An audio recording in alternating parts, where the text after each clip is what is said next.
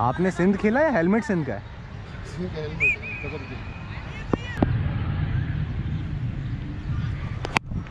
बड़े शॉट यार।